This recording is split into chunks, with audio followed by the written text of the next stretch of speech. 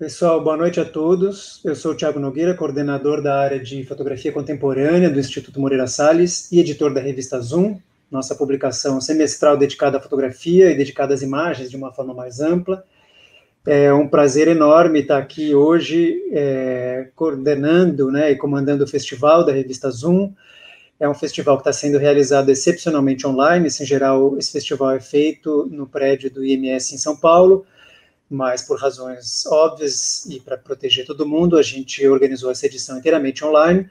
Isso nos deu a possibilidade, se há, se há alguma coisa boa que isso nos trouxe, foi a possibilidade de juntar pessoas de lugares diferentes do Brasil e também que estão morando fora, fora do Brasil e de ter uma audiência também mais ampla, que não está restrita à audiência geográfica de São Paulo.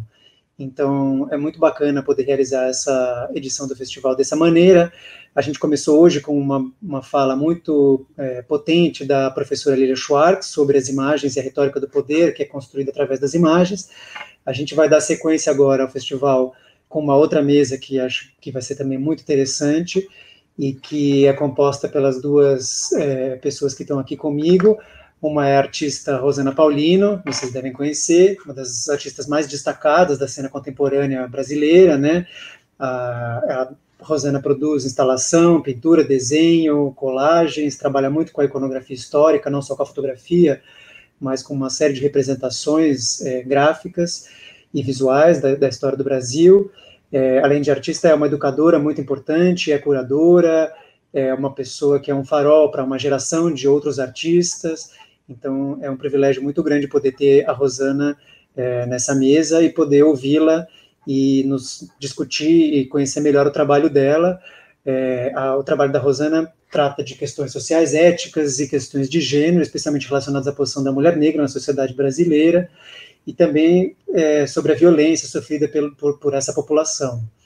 É, há muitos anos a Rosana nos ajuda a fazer uma leitura crítica e fundamental né, uma espécie de revisão histórica mesmo das nossas imagens de escravidão.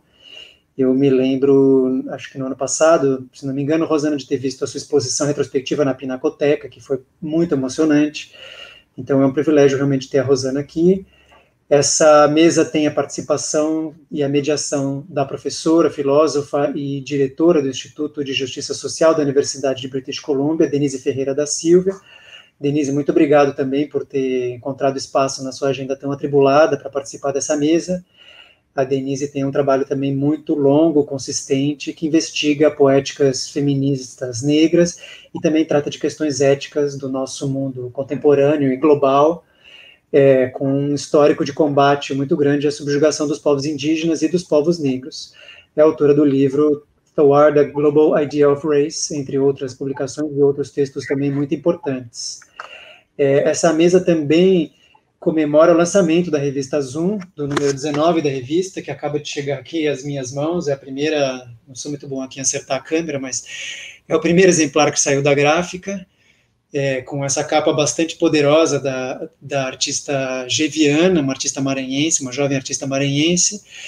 E a, a edição conta com muitos artigos e, e muitas conversas sobre fotografia, mas conta especialmente com uma participação muito especial da Rosana, que desenvolveu um ensaio que é a abertura aqui da, da revista, é, chamado Natureza Brasileira, e que é um ensaio especial e que também tem uma versão, né, circula numa versão de pôster para os assinantes da revista. A revista tem ainda, só para mencionar muito rapidamente alguns dos nomes dessa edição, tem um artigo é, sobre a obra da Teresa Margores, artista mexicana, junto com que, que, na verdade faz uma dupla com o escritor Mário Biratin. Tem fotografias do fotógrafo chinês Ren Hang.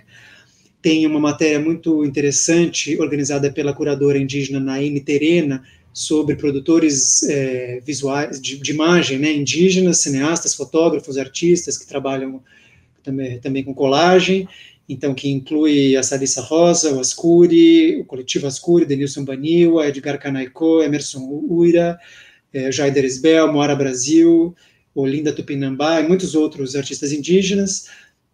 Matéria, tem uma matéria mais densa com a Rosana, apresentada pela é, professora Renata Felinto, tem um texto sobre o trabalho da artista Carmen Winand, tem uma, uma ótima discussão também sobre o filme musical, aquela mega produção da Beyoncé, feita pelos professores eh, José Messias e Kênia Freitas.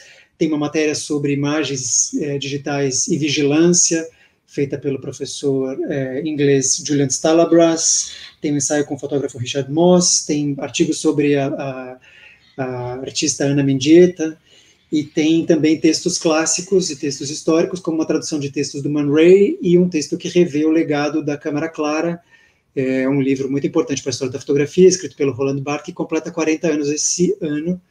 Então, é uma revista é, pequena, mas cheia de conteúdo, e que a gente lança hoje. Então, para não delongar aqui mais e tirar tempo das nossas convidadas ilustres, eu queria muito agradecer a presença delas, agradecer também a presença da Talita e da Paloma, que são as nossas intérpretes de Libras aqui no festival, e agradecer especialmente também a audiência de vocês e dizer que vocês podem mandar perguntas aí no chat, que no final da conversa, um pouco ao longo também da conversa, a Denise vai se encarregar de colocá-las para a Rosana também. É isso. Muitíssimo obrigado e boa conversa para todos nós.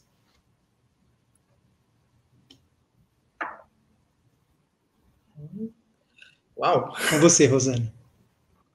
Já posso entrar, ótimo. Hoje eu estou tomando banho da tecnologia, gente. Então, boa noite a todas e todos que estão nos assistindo. Eu gostaria de agradecer a Zoom pelo convite, né, ao Tiago pelas palavras para lá de generosas, né? e dizer que é uma honra estar aqui nessa conversa com a Denise Ferreira da Silva, que eu já conheço os textos, mas não conhecia a pessoa, né? A gente está estamos nos conhecendo assim só pela telinha, mas é, já é alguma coisa, né? Já fica o convite para a Denise quando vier a São Paulo para um café.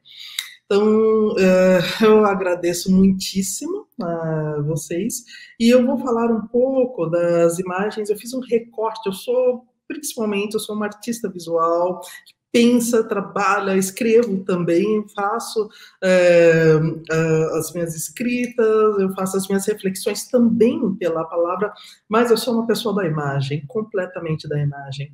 Então eu separei algumas imagens para nós discutirmos e para inclusive discutirmos esse trabalho que está na Zoom, que foi um, um desafio bastante interessante, bastante grande, que inclusive abriu uma janela interessante já para uma próxima série que, que eu estou pretendendo, né? Eu começo com, essa, é, com esse convite da Zoom, depois eu percebi a potência que está vindo aí desse trabalho e já vou fazer uma, uma próxima série com esse nome de Natureza Brasileira, com Z, com Z mesmo, porque tem algumas questões que já vêm me incomodando e que eu quero desenvolver.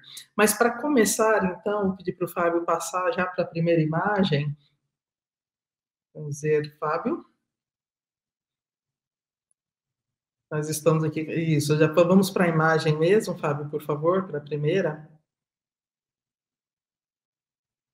Quem acompanha o meu trabalho sabe que eu, eu uso imagens, imagens, comecei utilizando imagens de arquivo, é, do meu arquivo familiar, para tentar, a partir do microcosmo da família, tentar entender um pouco desse macro, que é o macrocosmo, que é o Brasil. É, mas a partir, obviamente, de um determinado momento, eu troco essas imagens, tenho que expandir a minha pesquisa, e eu vou fazer. Uh, primeiramente, uma pesquisa sobre imagens escravizadas, é, principalmente a das amas, e nesse percurso, quando uma, é, estou pesquisando, uma coisa vai me chamando a atenção, que são os cartões postais. Os cartões postais que é, vão falar do Brasil, né, e também algumas imagens ligadas ao racismo científico. Então, basicamente, eu diria que nos meus últimos 10 anos de trabalho, eu venho com duas vertentes. Uma que eu já desenvolvi mais, que é a questão do racismo científico, como esse racismo científico, que foi política de Estado, inclusive, depois foi varrido para debaixo do tapete, fingimos, é, enquanto país, que isso não aconteceu. Né? Mas como esse racismo científico norteou toda a política do, de embranquecimento, ajudou a nortear essa política de embranquecimento e tornou corpos negros é, sem valor, retirou a subjetividade desses corpos a ponto, é, animalizou esses corpos a ponto de a gente ver esse genocídio que está acontecendo contra a população negra e não há uma movimentação grande no país, parece que é uma coisa normal. Então, um dos pontos que tem me chamado é como, a atenção é como racismo científico colaborou através de imagem nesse panorama que nós temos hoje.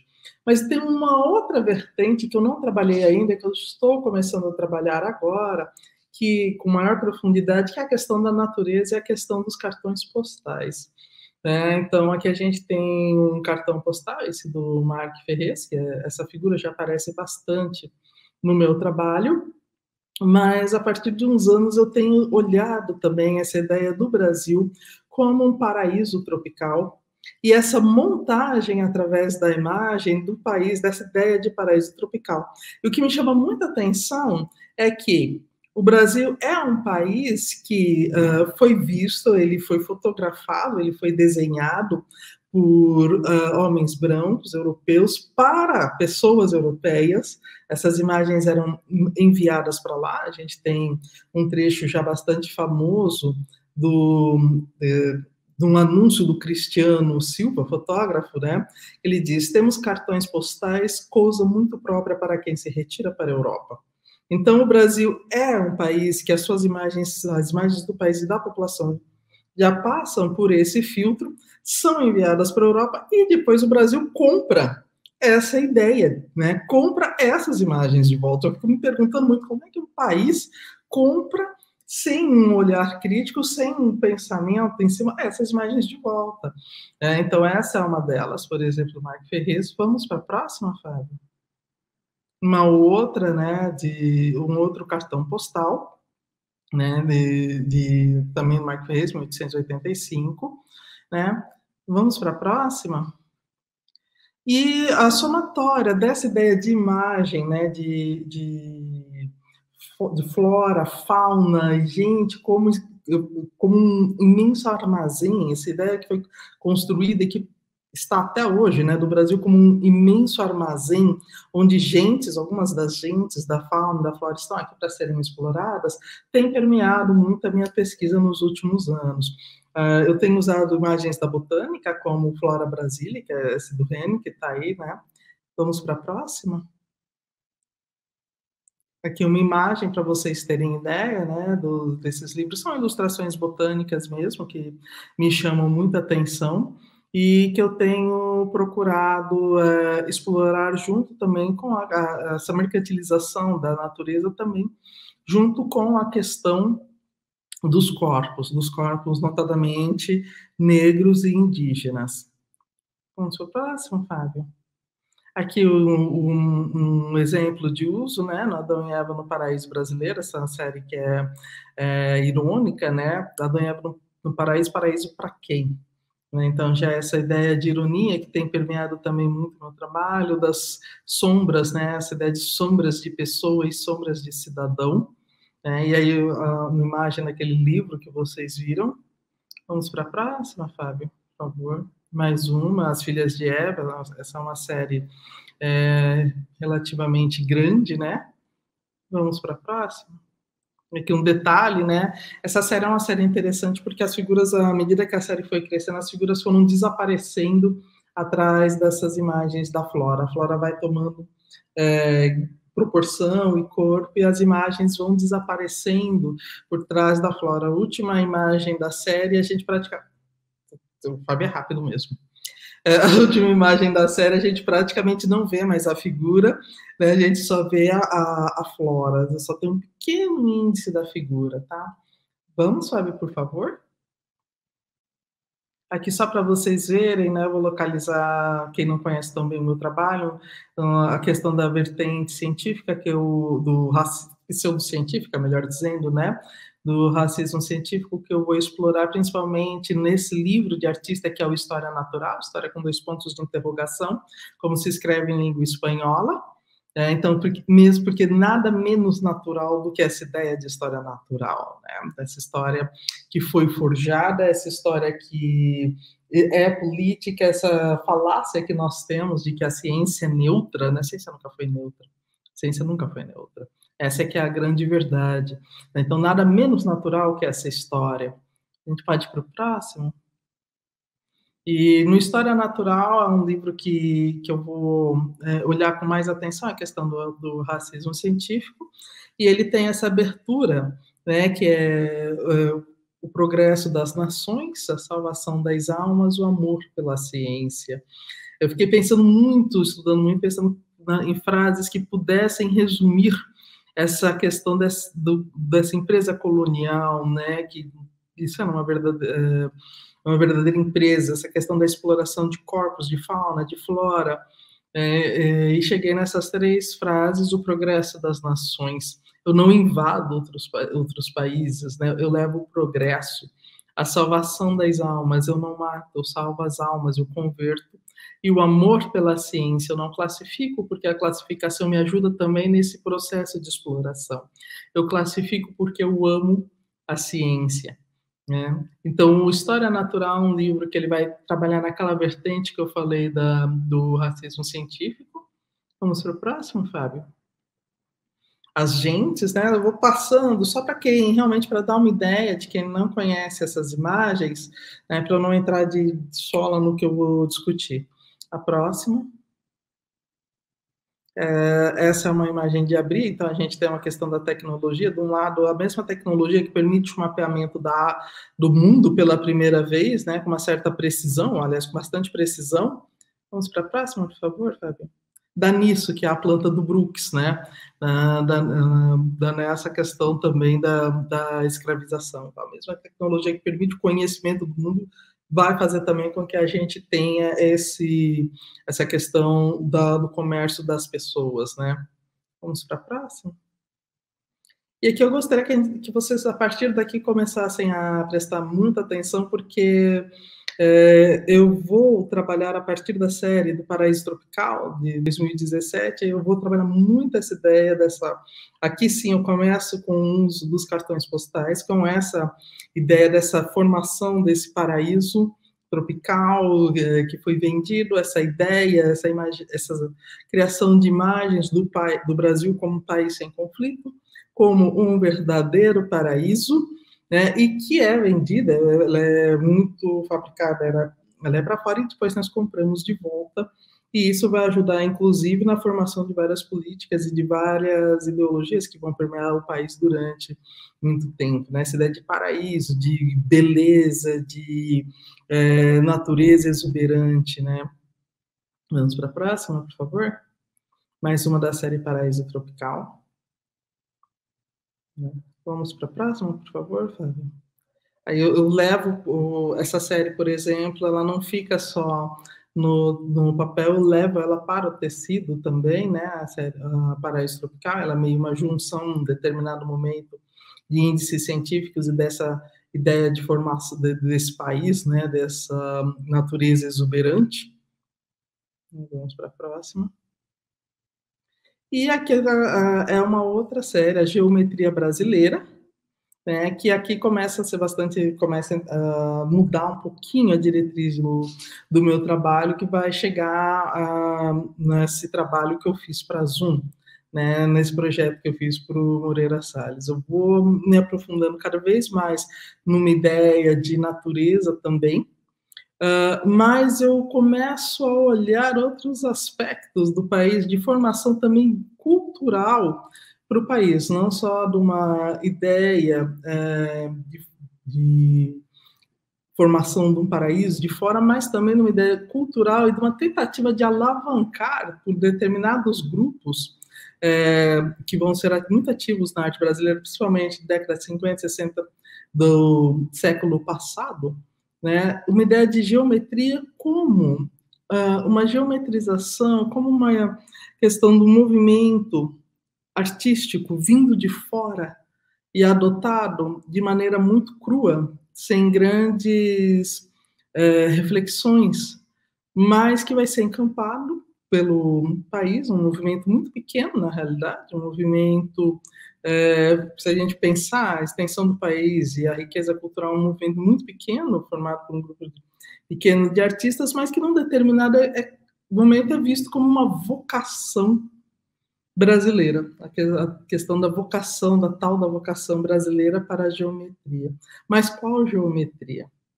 Né? Não foi olhar a questão indígena, que havia uma geometria indígena, uma geometria negra também não foi pensado. Então, qual geometria a gente está falando?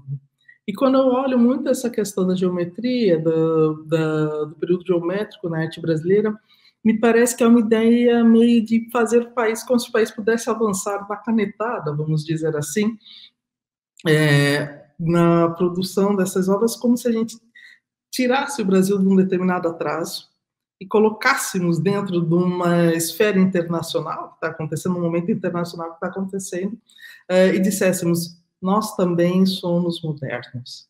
Né? Nós não somos uh, aquele país do passado, nós não somos aquele país, nós estamos nessa corrente internacional. Mas para isso, quem fica de fora, né, me chamava muita atenção, quem fica de fora uh, nesse, nesse olhar, nessa visão do país, os de sempre, né? os escravizados, os indígenas e a própria natureza, porque eu fico pensando para onde esse grupo de artistas, por exemplo, estava olhando né, para onde eles olhavam quando é, olhavam para a natureza, que é pujante, que querendo ou não, a arara está lá. A nossa discussão, o que nós vamos fazer com isso enquanto país? Como é que a gente lida com esse patrimônio?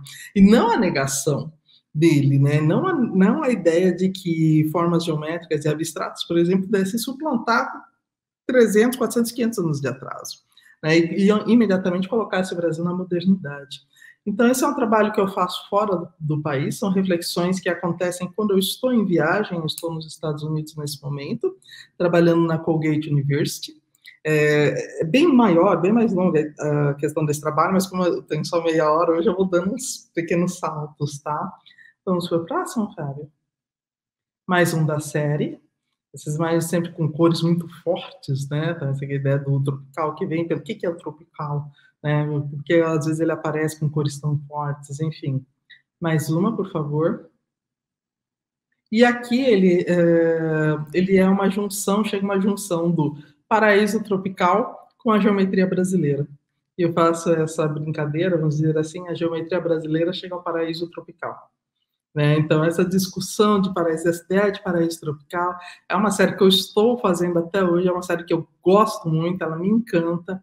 É, acho que é, talvez pela primeira vez eu uso realmente bastante cor, para mim é bastante cor já, mas ao mesmo tempo essa é uma série que vai me despertando também a questão de olhar com um pouco mais de atenção para a natureza. Vamos para a próxima, é, Fábio. Mais uma de olhar para esses grupos, para tudo isso que, é, que, que, fica de fora numa definição de Brasil. O Brasil está uma questão, é uma questão muito esquizofrênica com a, com a natureza, esquizofrênico mesmo, no sentido de, por exemplo, é, louvar a natureza, as belezas de um país tropical, da natureza pujando, mas ao mesmo tempo derruba tudo e bota pasto.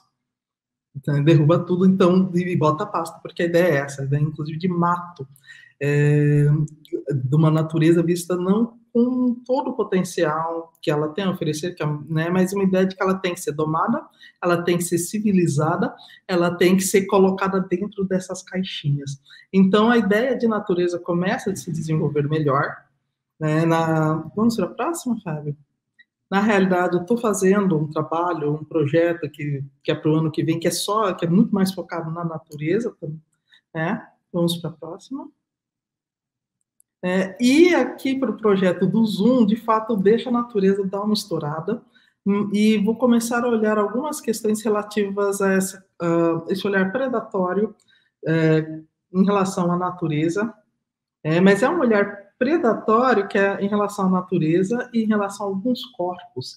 Existem relações também que são feitas eh, na sociedade brasileira entre natureza como uma coisa primitiva, selvagem e que, portanto, tem que ser dominada, tem que ser abafada, tem que ser muitas vezes destruída para que o progresso venha e a ideia daqueles dos corpos também, ou das, dos grupos que são mais ligados à natureza que são vistos da mesma maneira, né? São vistos também como primitivos, é, como é, corpos que são indesejáveis e que têm também ser dominados ou têm que ser objetific, objetificados, né? Para que o Brasil, para que finalmente o progresso venha. Se o progresso não veio na geometria brasileira como passe de mágica, dizendo através da arte, olha, nós somos modernos, né, e já estamos no, é, inseridos no, nesse mundo global, talvez ele venha pela derrubada para alguns grupos dessa natureza, né?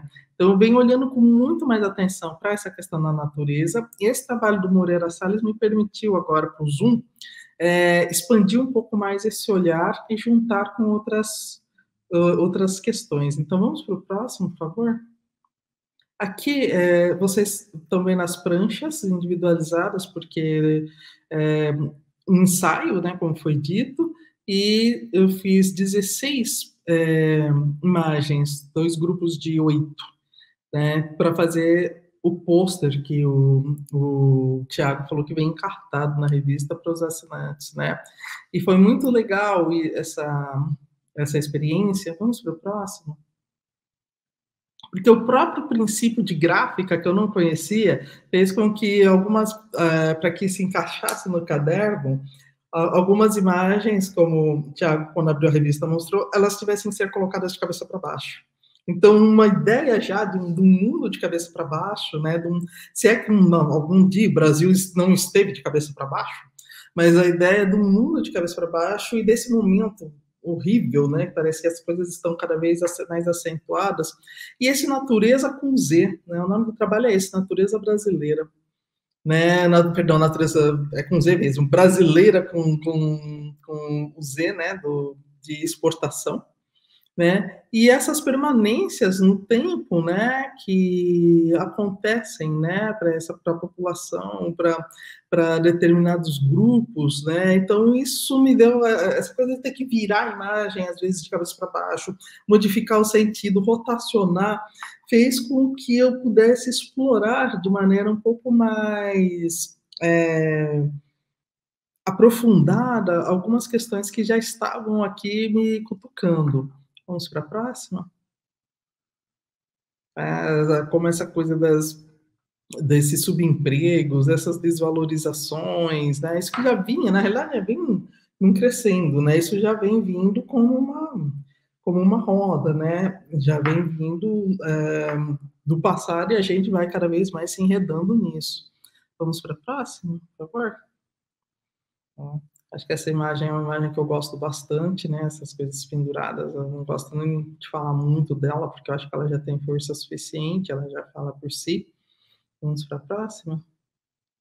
É, e essa aqui é, é, o primeiro quarto, vamos dizer assim, do, do pôster, né? Do primeiro grupo de quatro que eu fiz, né? E que aqui começa essa coisa dessa natureza brasileira, mas que é um jogo de palavras. Qual a natureza brasileira? E aqui eu não estou pensando natureza só, na, é, só, só a flora, mas a ideia de natureza do brasileiro. Então, qual é a natureza brasileira? É, a, esse povo cordial que foi vendido através do, das imagens do paraíso tropical? Qual a natureza do brasileiro? Que povo é? Que natureza é essa?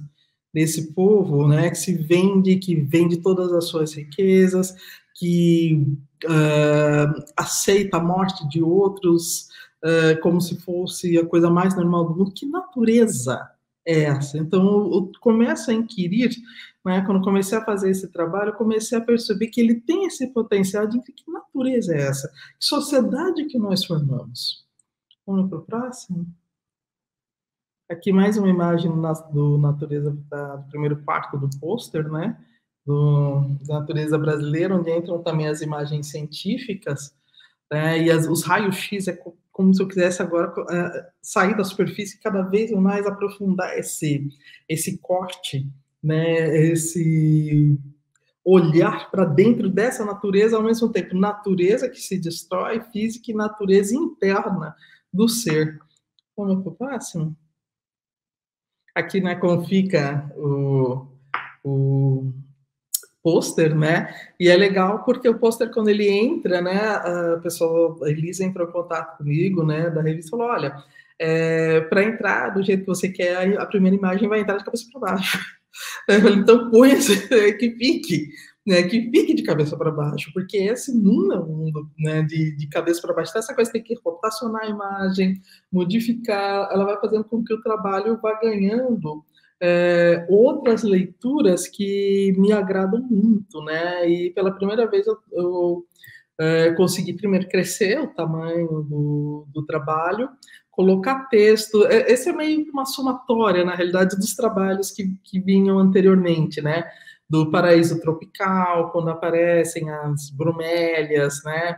Do geometria brasileira, da, do história natural, ele vai que somando, é processo de artista, né? Ele vai somando, ele vai trazendo, ele vai. Né? Então, ao mesmo tempo, ele vai também abrindo outros caminhos que são, para mim, bastante interessantes, que eu quero olhar mais, essa relação também entre. Uh, racismo e esse, essa depredação da natureza, esse olhar para determinados povos como primitivos, assim como a natureza é uma coisa primitiva também. Então, por exemplo, mato, né? Não é mata. No Brasil falam muitas vezes como matou, com o então mata é aquilo que é para ser botado abaixo, bota abaixo que é para o boi passar. Agora está até o boi bombeiro, né? essa figura, bota abaixo para o boi pastar. Então, que país é esse? Que natureza é essa nossa? Né? Em todos os sentidos. Vamos para mais uma, Fábio. Esse é o verso do, do, do, do pôster, né? Uh, então, como é pôster, ele tá aquela coisa, ele vem dobradinho e depois a gente vai, vai desdobrando e ele vai se mostrando, ele vai abrindo. E isso me chamou muita atenção também para fazer esse trabalho, as coisas que ficam disfarçadas, né, no Brasil, que ultimamente nem, nem disfarçadas mais, né? a gente já perdeu o pudor mesmo. Mas, enfim, com esse, essa arma debaixo dessa raia que está em cima desse azulejo, então vira uma mistura de imagens, uh, de referências, ou esse passarinho também em cima da mesma, da mesma arma, então essa coisa que é dobrada e vai se desdobrando. Que eu acho que nesse momento que nós estamos vivendo no Brasil é um momento, apesar de todos os horrores, mas ele tem uma positividade. Nós estamos, é como se nós estivéssemos desdobrando essas camadas e vendo quem nós somos de fato, vendo a nossa natureza isso não deixa de ser uma vantagem também, porque uh, aquilo que não se conhece não pode ser combatido. Durante muito tempo, nós não lidamos como deveríamos com o racismo, com várias questões, porque não existia. Não existe. Se não existe, você não, não cuida, não é, não é assim. Se não é detectado, quer dizer, obviamente sempre existiu, mas na natureza brasileira, a primeira natureza brasileira não permitia. Imagina, nós somos tão cordiais, nós vivemos num paraíso, isso não existe. Né? Agora, é como se estivesse se desdobrando, como as imagens que vêm dobradas nesse pôster, e vem abrindo e trazendo, de fato, essa natureza brasileira. Enfim, isso é, é só um começo de uma pesquisa, eu estou ainda com a cabeça muito é, pensando, ainda rodando, pra, é, porque é são coisas novas que se abrem, mas eu queria trazer nesse momento para essa discussão, esses novos rumos, essas novas possibilidades, e falar um pouquinho do, desse trabalho que eu venho desenvolvendo nos últimos anos com essas imagens, as reflexões que eu tenho é, tido é, e que vem através delas. Então, é isso que eu gostaria de colocar para vocês. Agradeço.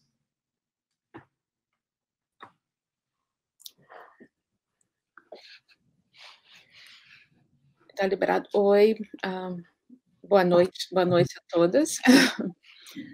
Uh, eu gostaria primeiro de agradecer a Tiago Nogueira pelo convite e também pela uh, introdução generosa. É uma honra e um prazer enorme ter a oportunidade de conversar com Rosana Paulino, uma das artistas mais importantes da, da arte contemporânea global e, com certeza, da, da cena artística brasileira. Foi fantástico, uh, Rosana, você deu essa, né, essa overview do seu trabalho, chegando até a, a esse momento.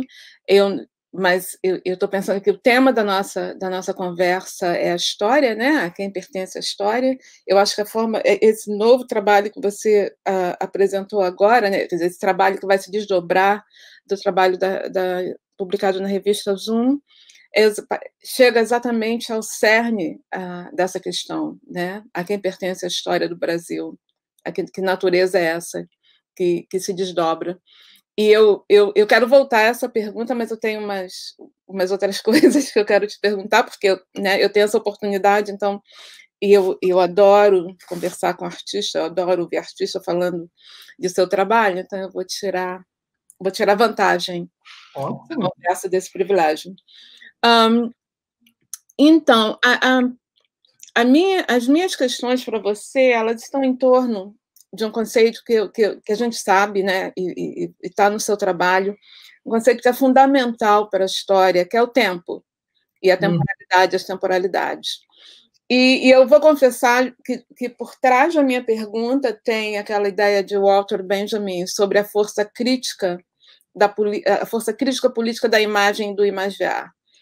E o seu trabalho, como ele né, endereça, como ele atenta à, à história brasileira e essas temporalidades imagiadas e intervém ali, para mim é assim uma não, não é que seja não é um exemplo, mas você, mas é uma é uma, uma indicação da força da força que as imagens têm.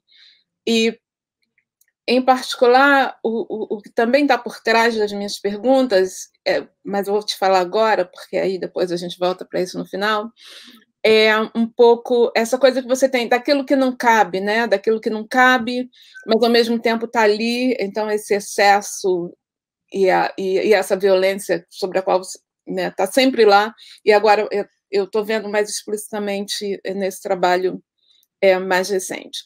Então, esse é, esse é o pano de fundo, né? É o que está assim, né? Por trás da minha cabeça.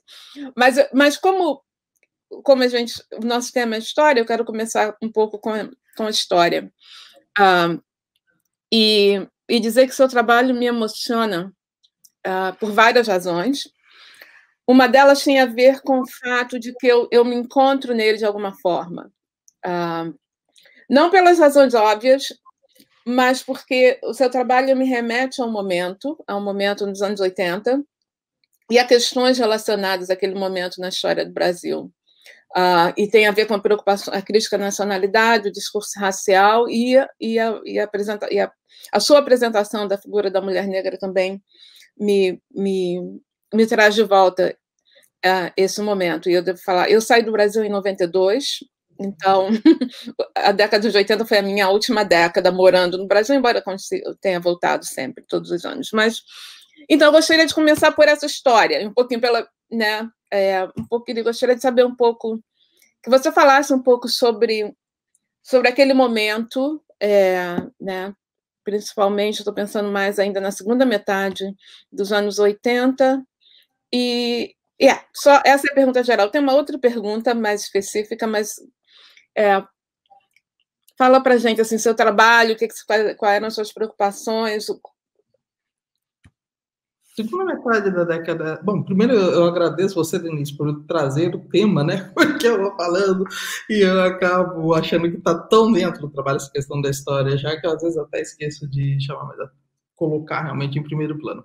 Na realidade, na primeira, nessa, na década de 80, eu era, eu não estava ainda exatamente, é, vamos dizer assim, com os olhos abertos. Eu estava com 20 e poucos anos, eu vou começar mesmo a refletir de forma mais pesada a partir dos 27, mais ou menos, que aí já está 90. Então, é, eu já sou um pouco mais, mais para cá, nesse sentido, né, de de temporal, né, de temporalidade.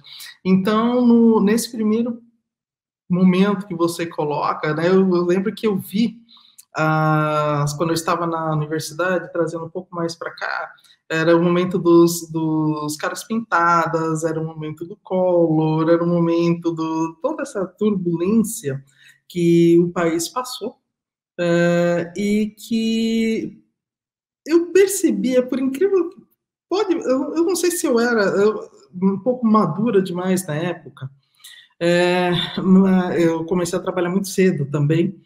Mas quando teve o impeachment, o impeachment do Collor, né, é, obviamente mereceu aquela figura também é outro, né, outro momento horrível da, da história, mas eu já tinha ali uma preocupação, já percebi uma coisa que me deu medo para o futuro, que foi o fato da, de, de eu ter percebido da Rede Globo fazer primeiro e desfazer depois. Porque foi uma figura que ele ninguém conhecia. O cara era governador de, da, de Maceió, né? Foi governador de Maceió. E não era, não era uma pessoa conhecida. De repente o cara surge do nada como caçador de marajás. É, então, aquela coisa me chamou a atenção no sentido de, do poder da imprensa de fazer e depois, quando ele deixa de, de atender a determinados interesses, desfazer também. Isso não quer dizer que seja um, fosse uma boa coisa, não era absolutamente. Mas eu comecei a temer pelo futuro. Eu pensei, mas você faz assim, agora, vai fazer lá na frente de novo, pode fazer em qualquer momento. E ali eu tinha percebido talvez uma certa fragilidade dessa da questão democrática que aconteceu com a Dilma depois. Né? Então, esse, uh, nesse momento, eu me lembro que eu não acompanhei as passeatas, porque eu trabalhava, eu fazia, tinha uma, uma agenda que era trabalho e universidade ao mesmo tempo, né? Tinha, trabalhava dentro da universidade para conseguir me manter, mas eu me lembro que eu via é, os meus amigos indo, e ninguém questionava isso. Não né? gente, mas será que será que eu estou muito pessimista em relação a esse país? Ou será que ninguém está enxergando que foi uma coisa feita e que agora está sendo desfeita? Né? Uhum. Porque, obviamente, mereceu e tinha que ser varrido dali. Mas o que chama atenção, como eu falei, é isso, né? Esse poder, né? essa manipulação da, da mídia que me deixou com muito medo. Né? Eu falei, lá na FIS é um, um precedente, nesse sentido, muito perigoso. Não um precedente do impeachment, mas o precedente de alguém que é totalmente constru construído e depois, quando não interessa mais, tira, ou pior, quando qualquer um que não interesse, qualquer um que não interesse, você abriu o precedente de maneira que isso ah, pode ah, haver a manipulação, a gente não precisa nem falar o buraco em que nós nos metemos, e que na realidade já tinha sido começado lá atrás. Então, essa questão, essa linha de tempo, né, eu, eu não consigo pensar no tempo como uma linha contínua. Eu penso muito tempo é, como muito mais como uma coisa que vai e vem, como uma coisa, uma temporalidade mais circular, né? Como se essa bola já estivesse cantada, ou como não sei. É, é, eu acho que talvez venha de uma da própria educação do meio da do que eu fui criado, que é uma maneira diferente, né, de pensar o tempo, de pensar as relações entre as pessoas. E cada vez eu estou começando a envelhecer. E cara, isso está sendo uma benção, porque eu começo a ver agora como essa matriz africana, mesmo minha família não ser uma família de terreiro, mas como isso me moldou também a pensar outras relações, como temporalidade, como espacialidade, como enfim, né? É... Não, exatamente. Então eu vejo né, é, a, a, matriz, a matriz africana, mas quando eu estava falando dos anos 80, eu estava pensando é, numa outra, uma outra herança, mais ou menos assim, que é do movimento negro dos anos 80. Uhum. Então, é aí que eu me encontro. É, eu, eu, sei, eu sei que você é muito mais jovem, mas, mas por mesmo, por isso, 80, das passeatas, principalmente em 88, eu fui. Botei minha mochila nas costas e fui. Foi, foi minha primeira, talvez, minha primeira experiência mesmo, assim, política, uhum. pesada foi aí. Não, mas é, para mim é incrível como, como aquele momento volta no seu trabalho, não como uma narrativa daquele momento, mas, na verdade, como uma, com, com imagens, através de imagens que estão é, fazendo aquele trabalho político. Por isso que eu estava era eu queria chegar ali, mas mas claro, você cresceu, né, né assim, dentro desse, desse ambiente que é incrível. Mas eu vou, eu tenho uma pergunta mais específica sobre o tempo que é, e é, é ótimo que você falou sobre ela. Mas antes eu queria falar sobre a mulher negra, porque eu, eu acho que ela é uma figura é, muito importante, mas ela não aparece, pelo menos eu não, eu não a vejo no seu trabalho de novo dessa, dessa forma é, óbvia, né, que a gente vai falar, ah, mulher negra, tá, aqui vai a mulher negra, aqui vai ela, tá vendo ela? Um, na verdade, eu acho que ela aparece, um, ela, para mim, ela aparece, ela aparece no cuidado, não sei se é cuidado, resguardo ou reparo. É, que eu vejo né, no seu trabalho com as imagens, como, como eu estou pensando na, na parede da memória, e, e, até, e até na, na, geometria, até na apresentação dessa violência, tem um cuidado, um resguardo e, um reparo. Então, eu, eu gostaria de ouvir você falar um pouco, pensando na temporalidade, né, nesse tempo, e, é, e como, é que, como é que se conecta né, é, o tempo e essa temporalidade é, circular que você fala, E, e, eu não sei, não sei se você, o que, que você acha de eu, de eu sentir esse cuidado. É, que para mim, porque para mim eles três acontecem ao mesmo tempo, uhum. né? e, e, apontando para o futuro e para o passado. Você faz uma coisa, fala mais sobre. Esse, esse cuidado ele está lá mesmo, né? Ele está lá porque de repente eu poderia estar tá, tá lidando com uma bisavó, entendeu? É, é esse não saber é que faz com talvez eu converso com as imagens, é como se fosse na minha família, entendeu? É, como eu falei, poderia ser uma bisavó, poderia ser a, é, uma pessoa conhecida, não, então eu acho que esse cuidado, primeiro tem que ter cuidado com a questão do, do, da própria imagem, eu tenho um olhar para a imagem, por mais que a gente saiba o que, é, como é a imagem, por mais que a gente saiba, por exemplo, eu fiz fotografia, obviamente comecei a estudar fotografia analógica, né? Então, quando você faz a revelação da imagem, é, a gente sabe exatamente que é uma reação química que o sai de prata, darará, a gente sabe tudo isso. Mas a primeira vez que eu vi uma imagem aparecendo, eu quase desmaiei. Porque era mágico. Do, é, é, você olha ali e aquela imagem vem vindo. Né? Ela vem vindo. Então, para mim, essas imagens, elas têm uma força ainda, é como se elas ainda retivessem um pouco da, da alma mesmo, talvez eu possa falar assim, dessas pessoas. Então, eu devo respeitar essas imagens. Eu devo respeitar as imagens, primeiro, porque poderia ser alguém da minha família, eu devo respeitar as imagens, porque é como se elas, por mais que eu saiba, eu, eu, eu sou uma pessoa que é muito ligada em ciência, principalmente em biologia, eu cheguei a entrar na biologia e desisti para fazer artes, mas por mais que eu saiba, eu não consigo olhar essas imagens antigas sem dialogar com elas, como se ainda estivesse, como se ainda estivesse um resquício delas ali. E esse resquício ele permanece no tempo. Né? Inclusive, um, um dos motivos de eu usar as imagens é que é, eu penso em todas as tudo de negativo que a própria imagem proporcionou em relação à população negra. Para eu curar essas imagens só com as, usando as mesmas, mesmas imagens numa chave diferente. Então, uma coisa eu sempre falo que o meu trabalho ele tem uma coisa meio Hahnemann, né? Imagem cura imagem. Uhum. É meio fogo contra fogo, imagem cura imagem. Né? Então, elas têm uma permanência para mim no tempo. Elas têm essa permanência. E essa permanência no tempo, elas estão lá atrás, mas elas continuam atuando na minha vida até hoje. E essa permanência que elas têm no tempo, elas requerem cuidado. Né? Faz com que eu tenha que ter. Elas pedem esse olhar, elas pedem esse cuidado. Então, tem inclusive um, um vídeo que é um dos meus últimos trabalhos, né, antes da pandemia, que é o das avós, que é uma performance ele, esse vídeo ainda está no ar, ele, ele foi feito para o Vídeo Brasil, agora está tá em Campinas, abriu uma exposição lá, mas ele ainda, se eu não me engano, ele ainda está no YouTube, que é uma performance que a Charlene Bicalho fez todo o roteiro tudo, mas eu não sou performer, eu não performei, chamei uma artista. E ela pega essas imagens que são impressas em tecido transparente, coloca, vai colocando em cima do, do corpo e costurando, tá com uma roupa branca, né, vai costurando. Então, essa, a Charlene só existe porque essas mulheres existiram. Mas essas mulheres só voltam a existir porque a Charlene existe.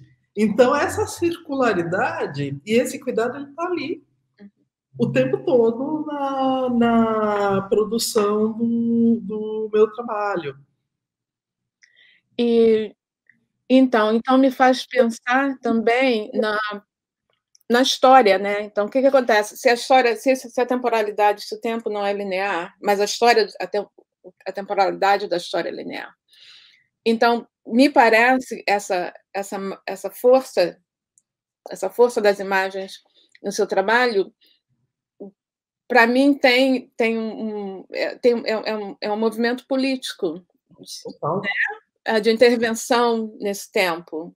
Uhum. É, então, é, eu queria que você falasse mais um pouco, até porque está ligado né, à crítica à escravidão, à colonização e mais. É, esse trabalho mais recente também, a violência. Sim, é total, é completamente político. As escolhas são políticas, né? O modo como a imagem é colocada, o respeito com o qual ela é tratada, ela é totalmente política, né? A política se dá pelas escolhas nesse caso, né? Do porquê e como, né? O porquê essa e como ela é colocada. Eu sou uma pessoa muito política. Eu sou realmente é, é da minha natureza. Né? Esse é um dado, essa questão das naturezas, né? A natureza enquanto personalidade, ou enquanto. É, eu venho de uma família que se falava muito assim: ah, é da natureza de Fulano, é da natureza de Beltrano. Né? Ah, Fulano é sempre da natureza dele, né? Então, eu acho que eu incorporei um pouco essa ideia de natureza enquanto é, entidade psíquica, personalidade. Então, é, é, essa questão política é da minha natureza, e eu não consigo pensar numa para mim, uma colocação no mundo sem passar por esse por esse político, sem me colocar nesse sentido. Quando eu, eu, eu coloco isso, eu reafirmo e, e, e, reafirmo com orgulho, inclusive. Eu venho daqui, eu estou aqui, eu me situo aqui.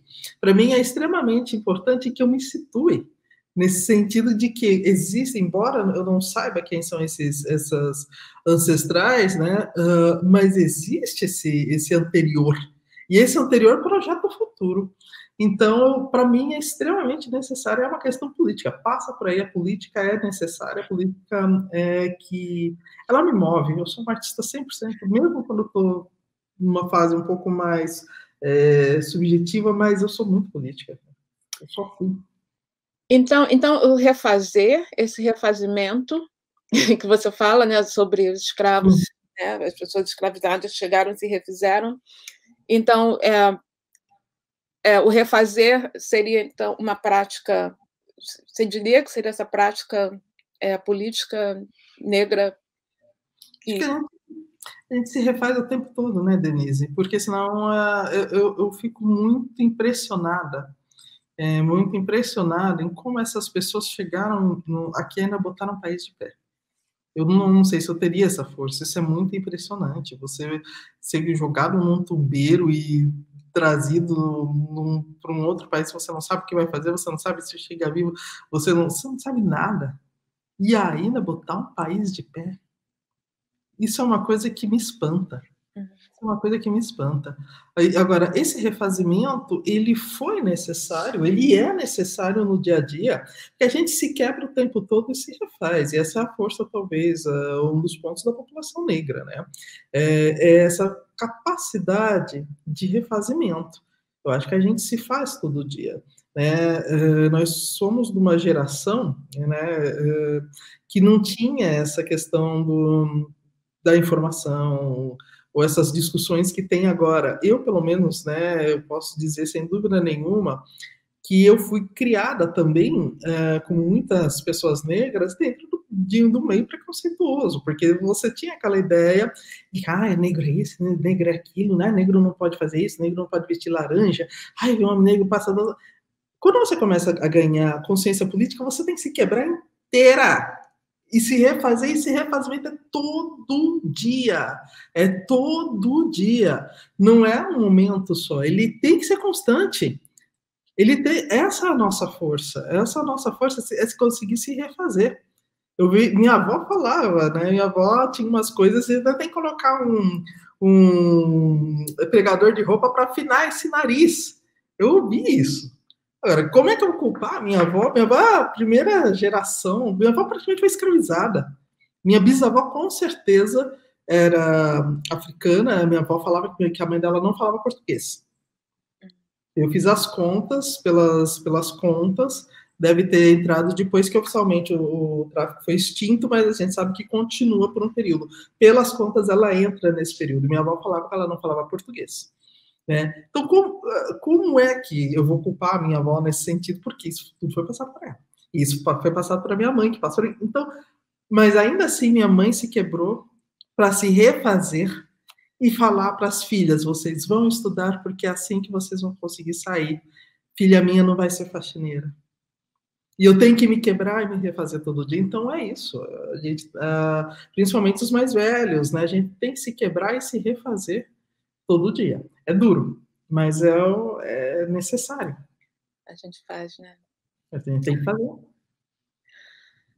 Obrigada, a gente, obrigada, Rosana. A gente vai continuar, mas agora eu vou, eu vou passar para as perguntas do, do, público. Então, tem uma pergunta, a primeira pergunta é de Lucas Nascimento, aí eu estou lendo. É, tá. Rosana, observando o seu trabalho e percebendo como ele refaz a história, como você vê instituições como o Grão, que colocam sua sala de exposição com seu nome no futuro da arte brasileira? Ai, você... Rosana, é, de Bruno Stocker. Não, você quer responder? Não, eu faço as duas e depois. Tudo tá, bem? Uhum. Então, essa é de Lucas e a de Bruno Stock. Rosana, você trabalha com muitas técnicas misturadas na maior parte das vezes. Na maior parte das vezes. Ah, de que modo você entende que essa mistura serve à sua obra e aos sentidos que você quer discutir? Tá. Eu vou começar de trás para frente, porque a pergunta está mais fresca na cabeça das pessoas, né? A realidade, Bruno, é, eu misturo as técnicas, mas quem pede a, a técnica é o trabalho, sempre. Uma das coisas mais difíceis de aprender como artista visual e mais difícil de passar para os alunos também como artista visual é saber ouvir o trabalho. Saber ouvir o trabalho. Saber ouvir o trabalho é extremamente importante para que ele, inclusive, quando pronto, seja mais efetivo. Né? A gente tem que olhar e tem que perceber quando eu preciso. Inclusive, dois dias atrás eu falei isso num, num curso, numa tutoria.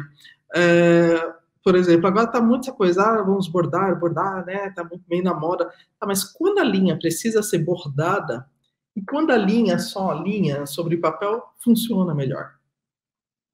Isso é extremamente difícil, né? Então, o trabalho é o trabalho que pede a, a, a, técnica de modo que ele ganhe. Quando é que eu preciso, por exemplo, fazer uma, uma costura e quando eu vou ganhar se eu estiver no plano, no papel, e quando eu tenho que sair do plano e tridimensional, que é uma coisa que eu estou fazendo agora que eu quero aumentar o tamanho das peças, né? Então, essa mistura de técnicas, né, ela serve à obra, eu sou uma artista muito, eu sou chega a ser chata em relação à técnica, eu sou muito cri-cri em relação à técnica, perfeccionista, porque a técnica me permite dizer de uma forma muito melhor, muito mais elaborada aquilo que eu quero discutir. Então, quando eu, eu escolho um, uma técnica para um determinado trabalho, nunca é à toa. Nunca à toa.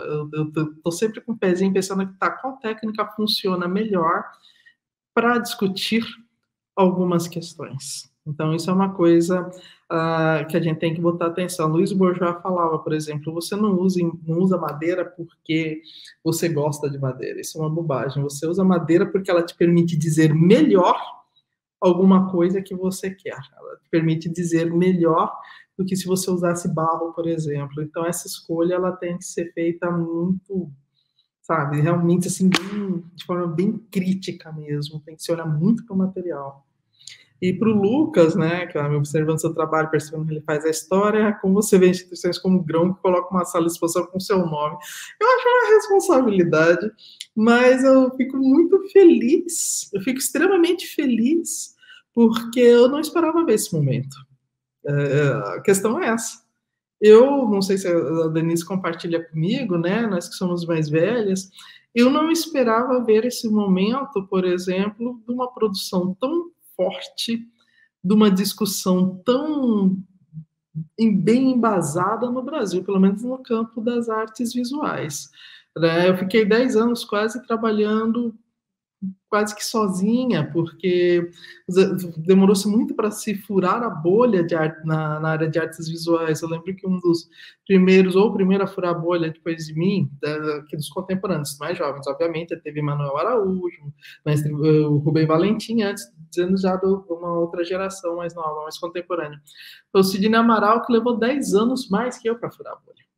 Então, eu trabalhei muito sozinha. Então, não, não esperava esse momento. Então, ver eu meio que não acredito. né? Eu fico muito feliz, né? Porque, porque eu, eu realmente não esperava ver esse, esse momento, não. Então, crianças, a esperança. Isso, a positividade, mesmo, yeah, mesmo nesse momento. Hum. Um, então, tem a, a, terceira pergunta aqui de Oscar Malta, e a pergunta é a seguinte: artista, artista como etnógrafa pode ser um agente dispositivo desanestesiante? Não, não penso, pelo menos para mim, é, eu não penso essa questão de artista como etnógrafo. Eu penso, no meu caso, assim, é, eu uso essas imagens e uso esses trabalhos porque está aqui, ó, atravessados na minha garganta, entendeu? É, é, uma coisa assim, é, vem da, dessa população do, do, que, encarou isso, né? Com todas essas, essas questões de, de do, do, racismo, todo esse. Então, é, é, diferente, entendeu? É diferente quando você vem da. Quando isso está no teu histórico.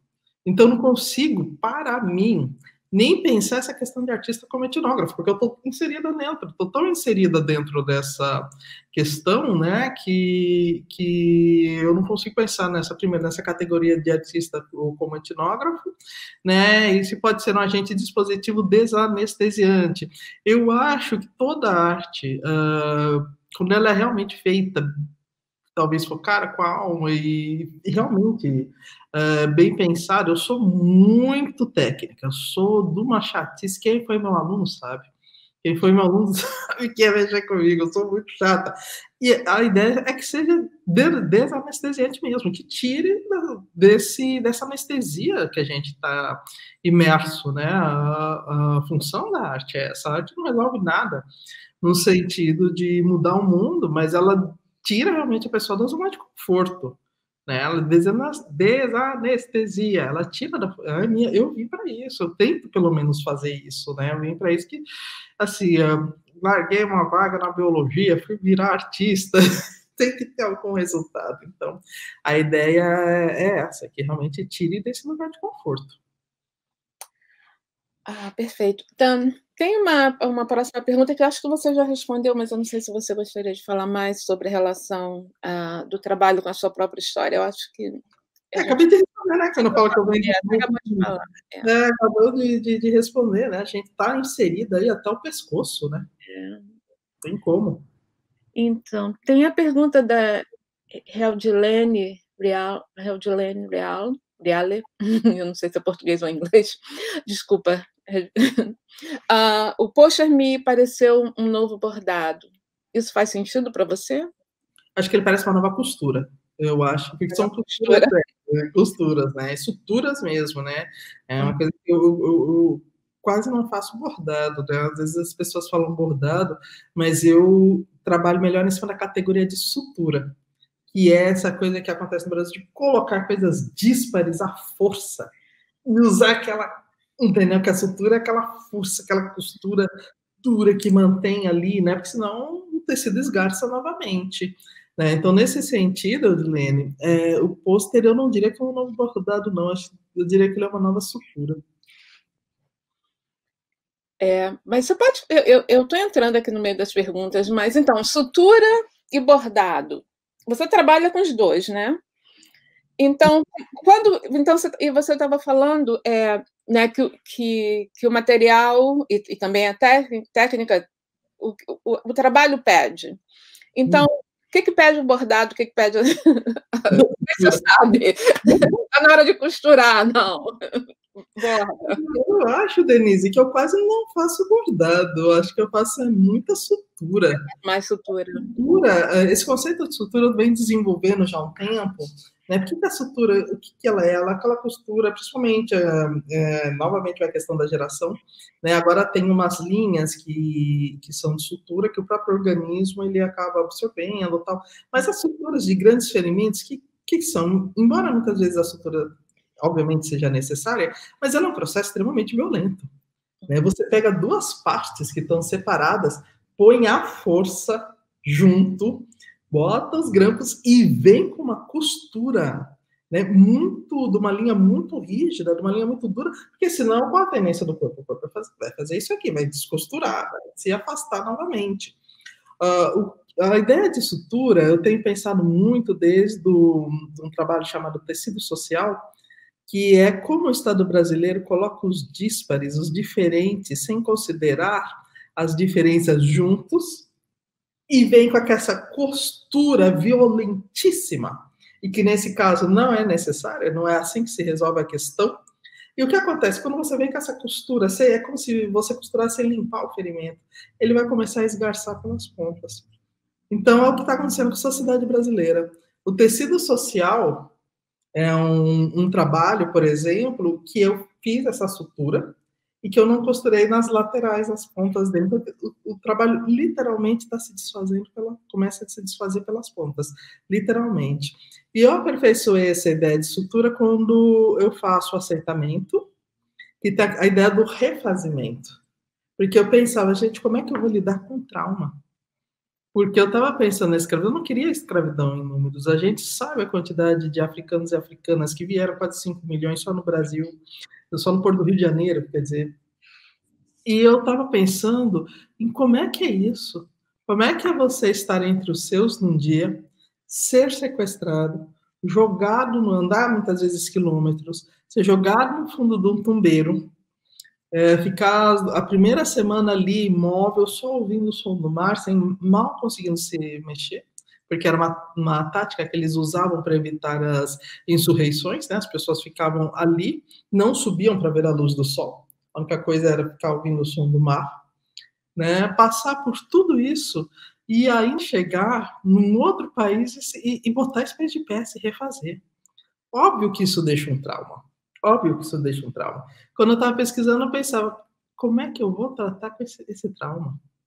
E aí que eu cheguei naquela solução de fazer praticamente a imagem em, trabalho, em tamanho natural, uhum. cortar, recosturar, né? E aí a sutura é uma sutura para manter as partes juntas, mas quando a gente olha no, no assentamento, a gente vê que as partes não casam. É o trauma. Essa conta não fecha, essa conta não vai fechar. É, então, aí é, é a sutura, é, é, a sutura, entendeu? No parede da memória é costura, não é bordado, acho que é uma costura que une, que junta as partes. Então, na realidade, eu bordo muito pouco, porque eu procuro, mesmo no, nos bastidores, eles são o, antítese da, do bordado. O bom bordado é aquele bordado. Minha mãe sempre, eu, eu, lembro dos cadernos de bordado da minha mãe, que tinha uns exemplares, e o bom bordado é aquele que você vê o verso, ele tá bonitinho, né? Ele não tem muito nó. Nos, nos bastidores é uma linha preta, pesada, que vai e repuxa todo o rosto. Então não é exatamente, é quase a antítese, né? Do que seria um bom bordado. E aí eu vou jogar com essa ironia. Então, por isso que eu falo que eu mais costuro e suturo do que bordo, embora eu saiba, eu aprendi a bordar criança. Mas o que me interessa aí é essa linha que às vezes é pesada, é densa, ou modifica o rosto, enfim. Então, aí tem uma pergunta aqui que eu acho que que você também já está respondendo, mas talvez ela te leve pra, a, a, você falar mais, que eu estou muito curiosa sobre, é, sobre a sutura. Que eu acho. Bom, para de falar, Denise. Ah, pergunta qual a natureza. Não, vou fazer pergunta. Vou, vou, deixar as outras pessoas fazerem, conversar com você um pouquinho. Então, qual a natureza desses resquícios que permanecem nas imagens através do tempo? São sintomas como aprender a enxergá-los? Porque acho que você está falando do trauma, né? Tudo isso. Mas aí, no final, a última perguntinha: como aprender a enxergá-los, né? Pois é, essa questão do trauma, eu acho que a gente não enxerga, a gente sente. Hum. A gente sente, eu acho que a gente sabe muito pouco ainda sobre a transmissão das, das ancestralidades. Foi feita uma pesquisa nos Estados Unidos no ano passado com a quarta geração, se eu não me engano, né, acho que já estava na quarta geração, de descendentes de soldados que participaram da Guerra Civil Americana. E eles perceberam que uh, já na, nessa, ainda nessa quarta geração, né, obviamente foi feita com homens, e também inclusive pelo medidor genético, me parece que era mais fácil fazer dessa maneira, e você via que esses que já seriam tataranetos, né, ainda tinham um nível muito maior de depressão em relação ao resto da população. Hum. A hipótese que foi levantada é que o trauma da guerra é tão grande, ele, ele foi tão grande, que de uma determinada maneira ele pode ter modificado alguns genes que foram passados de geração em geração. E ainda hoje, na quarta geração, esses genes estão atuando e fazendo com que esse, eh, os homens né, que são descendentes desses soldados, apresentem um nível de uh, depressão muito maior do que o resto da população. Ora, se a guerra causa isso, imagina a escravidão. Eu acho que a gente sente, eu acho que além é, de ter toda essa questão de racismo estrutural, a gente ainda pode estar sujeito, ou espiritualmente, talvez, para quem acredita, né, a esse peso também da, da escravidão, até mesmo fisicamente. Né? Então, esses, esses, essa, esses resquícios né, que permanecem nas imagens, eu acho que não é tanto da imagem, mas é como está dentro da gente, talvez. E aí o meu trabalho é, é esse reconhecer, é, eu mais sinto é, do que eu posso enxergar. Eu posso talvez usar a, a ciência para tentar entender isso, mas é, é como se a imagem para mim fosse um disparador, entendeu? É como se ela fosse um é ela talvez que vai dar esse clique, me, me parece, né? Então, assim, você pode olhar talvez de um modo de vista mais esotérico para a imagem e pensar que elas realmente carregam, que é como muitos povos acreditam, né? Como muitas pessoas acreditam que as imagens realmente carregam resquícios de um, de um falecido, e por isso muitas uh, etnias não se deixam fotografar, muitos grupos ainda hoje não se deixam fotografar ou talvez essas imagens só desse start e desperte alguma coisa que esteja dentro já da gente. Eu não sei, isso é extremamente complexo. A gente só pode levantar é, algumas ideias aqui, algumas hipóteses, mas vou te falar uma coisa, eu, eu sinto, eu converso com as imagens, né? Por isso, talvez seja da minha natureza é, como artista e as perguntas que, que me levam a, sei lá, ser artista, né? Minha artista à toa, né? Não é à toa que eu não estou na biologia.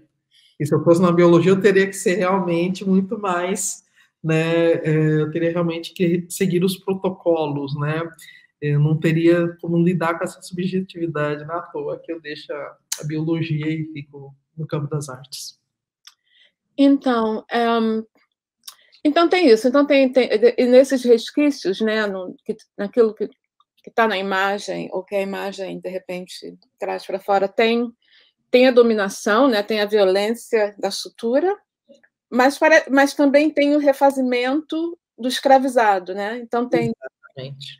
você traz os dois para fora, né? Então não é só trauma, né? Não, não, de maneira alguma. Como eu falei, eu não entendo como essas pessoas conseguiram se refazer. Isso para mim é uma das coisas mais absurdas, mais malucas, né? E não, e não é só isso. Refizeram, botaram o país de pé botaram toda uma cultura de pé e cantando ainda. E ainda consegue cantar. Que força é essa? Que força é essa?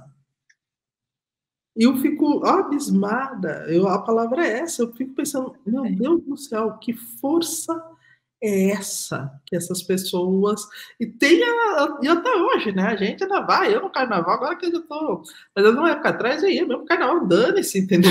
eu mesmo ia para me enfiava nas escolas de samba e acabou. Eu preciso da. Eu preciso, outro dia eu estava até conversando com uma pessoa na internet, eu preciso desse movimento também da dança, do canto, para me manter de pé, mesmo na dureza, porque aí eu canto, danço, eu fico inteiro, mas aí eu vou para a briga.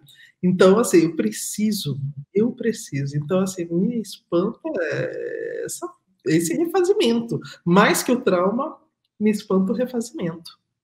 Hum. É, a mim também. Eu tenho pensado muito ultimamente, é, eu me faço essa pergunta sempre, como é que, como é que a gente está aqui, principalmente no Brasil, né?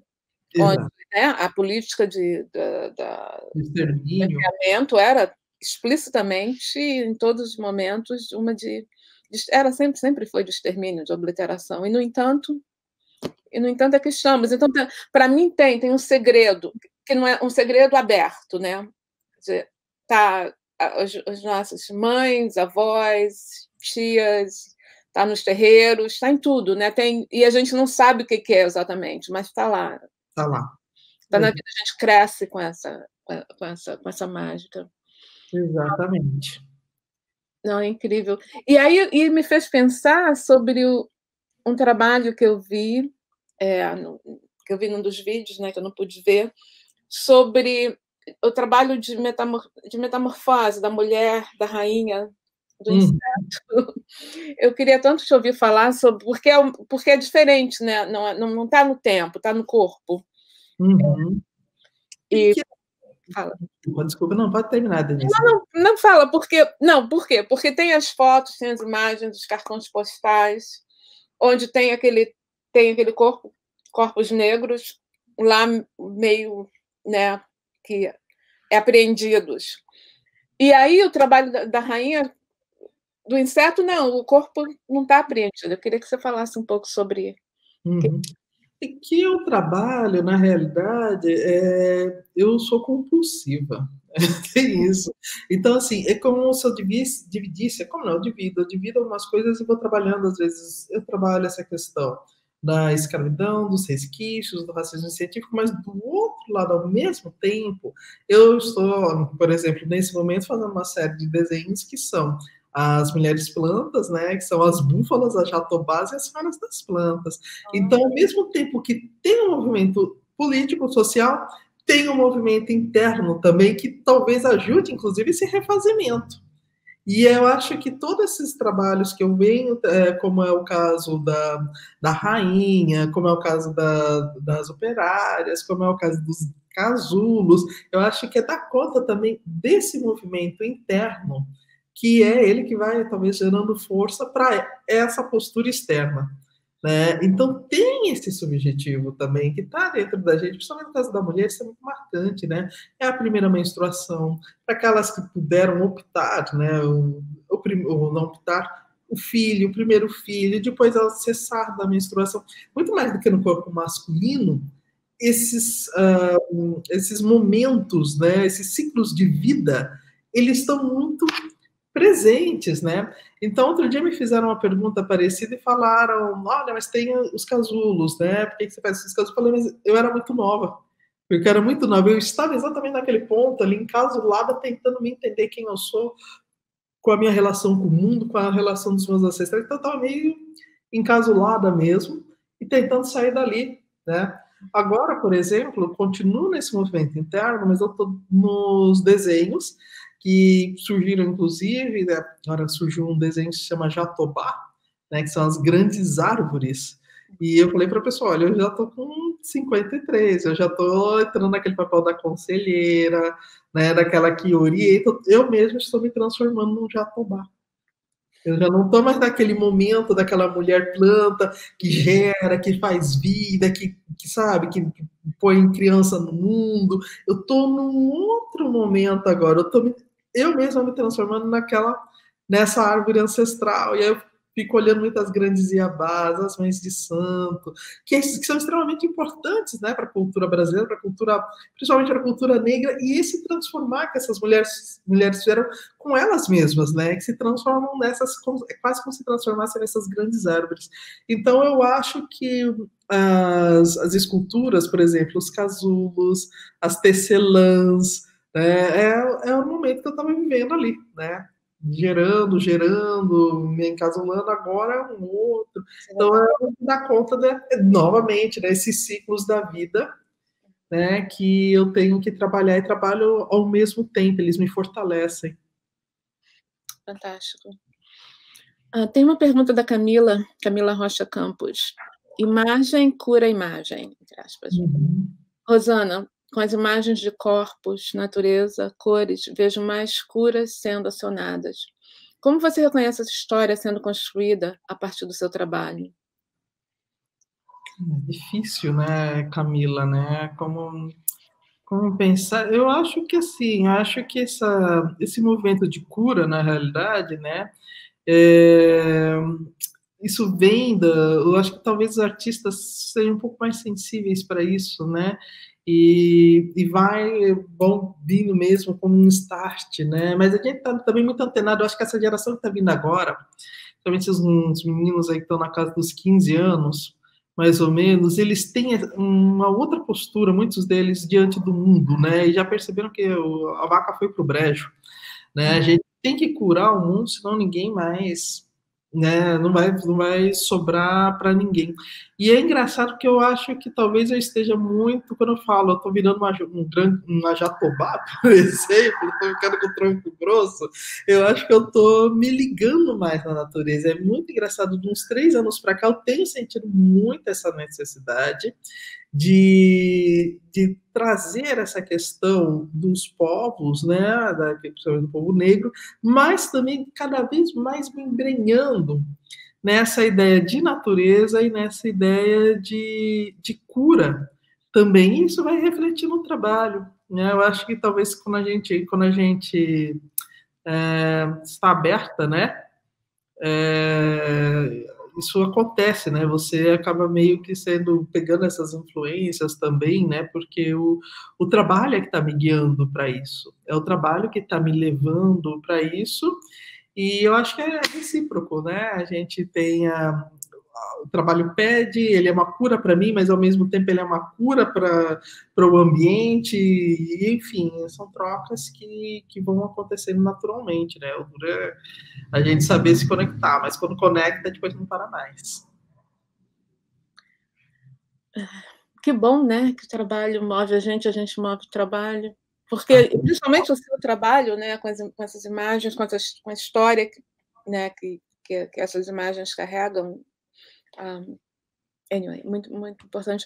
Bom, tem uma pergunta que eu acho que é curiosidade, mas eu vou te perguntar. A Laura Dias está perguntando quais, quais artistas são referências para você. Olha, eu tenho muita, muitas artistas que eu admiro muito, né? Agora, eu acho que referência é diferente porque eu já passei da idade de formação. Então, acho que é, é, é diferente, né? Então, tem muitas artistas que eu gosto bastante, mas não chegam a ser referência, porque, como falei, na idade de forma, a referência ela acontece mais enquanto você está em formação. Aí depois aí já vira um outro tipo de diálogo. Eu nem gosto de, de citar muitas, né? Porque, de citar essas artistas, porque eu sempre acabo esquecendo. E depois fala, caramba, não falei de fulana, depois se fulana lembrar vai ficar bravo comigo. Então eu nem gosto de, de, de, citar nomes, né? Agora, como referência, como no momento de formação, vocês não se esqueçam que eu sou pré-internet, eu sou pré-internet. Na minha formação, não tive muitas referências, porque não entrava no Brasil. A questão da arte, de arte de mulheres, arte negra, arte indígena, isso não entrava no Brasil. Começou a entrar não faz tanto tempo assim, e infelizmente eu acabei não tendo muitas referências nesse sentido, porque esse material não entrava no Brasil, não, não entrou. Eu tive a sorte de começar a viajar muito cedo. E aí eu fui tomando contato com, esses, com esse outro universo, porque isso não entrava no Brasil. Incrível, né? Quando, quando mudou? Quando, Onde você viu? A começa a mudar em torno de meados de 2000, 2005, hoje até 2020, 2010 já começa a abrir mais. Mas eu lembro que, por exemplo, na, na faculdade, por exemplo, não tinha, menina, não tinha. Essas discussões não entravam. A, a questão, quer ver um exemplo bom? Eu sempre dou esse exemplo. É, as pessoas me perguntavam antes, por exemplo, ah, você é uma artista feminista? Eu falo, não, sou uma artista feminina. Não sou uma artista feminista. Até ficava, principalmente crítico de fora, ficava meio assim, as críticas de, de fora. Depois, com o tempo, eu fui percebendo que, não, obviamente, eu não tinha como me, me colocar como uma feminista, porque o que era feminismo no Brasil? Era uma mulher branca, classe média, que brigava para trabalhar fora o feminismo negro começa a ganhar. Eu não eu fui ter contato já com a questão do feminismo negro já bem mais velha, porque esse material não entrava aqui no Brasil. Com a internet começa a vir essas, essas questões. Eu me lembro que eu abri uma, uma pastinha para estudar a Lélia Gonzalez, e a primeira eu falei, oh, agora internet, eu vou estudar a Lélia Gonzalez. Abri uma pasta, apareceu só um xerox então, um PDF que era de um Xerox, que já devia ser um Xerox do Xerox que não dava nem para ler. Horrível, minha pasta ficou vazia há muito tempo. Agora você bate lá, Beatriz Nascimento, Lélia Gonzalez, né? Sueli Carneiro, aparece um mundo de, de coisas. Então, a minha geração não teve contato com, com esse material. E o mesmo em relação à arte negra. Acho que a arte negra começa a aparecer aqui no Brasil em meados de 2005, 2010. Demorou, viu? Não, demorou muito para começar a entrar essa discussão. Falei, os primeiros 10 anos praticamente não tinha com quem dialogar. Incrível, né? Então teve um, teve um lapso nesse momento, mas está na hora, está chegando a hora. Muito obrigada, querida, pelo seu trabalho, pela conversa, foi um prazer. Muito bom que foi conversa mesmo, né? É ótimo. Bom, Thiago. Thiago está indo já. Elisa Rosana, sim, o papo está muito, muito, muito interessante, mas infelizmente a gente vai ter que acabar. É, eu acho que a gente aprendeu muito com essa conversa. Eu queria agradecer enormemente a disposição de vocês e a dedicação, e também, Rosana, a sua generosidade e franqueza, que é visível no seu trabalho, mas ainda mais visível também na maneira como você se posiciona. É, eu espero que, gostei muito quando você disse que as imagens, né, que trabalha com imagens que curam imagens, espero que você continue nos ensinando a usar as imagens para realizar essas curas e para que elas curem as próprias imagens e curem a nós mesmos também. E queria muito lembrar a todos que o festival segue amanhã, com mais duas mesas. A gente tem amanhã uma conversa sobre feminismo e comunidades utópicas femininas nos Estados Unidos, a partir do trabalho da artista Carmen Winand e isso às três da tarde, e às cinco da tarde uma conversa que eu conduzo com o artista chileno-americano é, Alfredo Jar, também sobre política e imagem, e depois no domingo, duas mesas também, às três da tarde, com a artista Teresa Margolis e a curadora Gabriela Rangel, e às cinco da tarde com o artista Denilson Baniwa e o pensador Ailton Krenak. É, queria lembrar vocês também que a revista, então, é lançada hoje, essa mesa foi uma comemoração, agradecer novamente a Rosana também, porque, é, por ter achado tempo no, no, na agenda tão corrida dela para fazer o trabalho para a revista, assim, é um privilégio ter um trabalho inédito, desenvolvido para publicação, né, e eu achei muito interessante também como ela juntou a ideia do pôster que a gente planejou com a ideia das suturas e, das, e, do próprio trabalho que ela já vem realizando, e aguardar vocês amanhã e dizer que, para quem tiver interesse, a revista está por aí. É isso, obrigado a todos, obrigado ao público que ficou é, até agora assistindo e até amanhã.